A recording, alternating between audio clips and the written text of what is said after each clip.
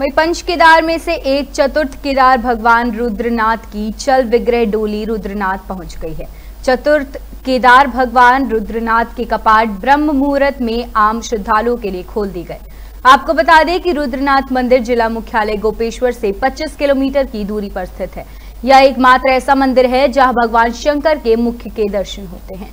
इस मंदिर तक पहुँचने के लिए 22 किलोमीटर की पैदल दूरी तय करनी पड़ती है। वही कपाट खुलने को लेकर हक हुकूक धारी और स्थानीय लोग मंदिर पहुँचने में और मंदिर को फूलों से सजाया गया है। चमोली से संदीप कुमार की रिपोर्ट।